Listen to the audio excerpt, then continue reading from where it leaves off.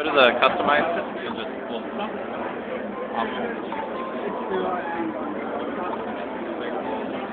So this particular title is a chess game, but we're really focused on making sure there's a high fidelity graphics. You have real-time reflections, real-time shadowing. Um, there's a campaign mode where you have 40 different components, interactive tutorials, puzzles, like stuff that kind of is really meant for you to have harder and harder opponents with more and more advanced tutorials to get people better at chess. Um, and then there's a very um,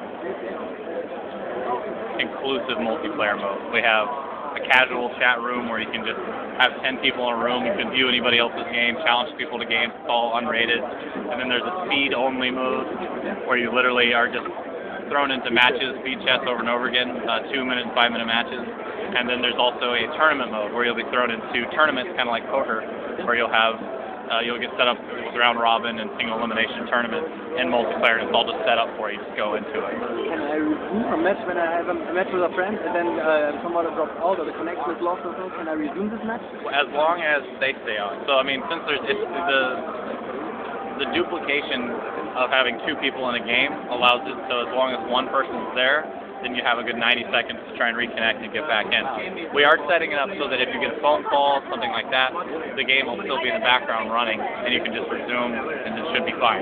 If it kills the app, though, you're going to have to jump back in and hope that it hasn't been 90 seconds. There's not much we can we can do because the other guy can't just be sitting there waiting the time. Um, but then, yeah, with single player,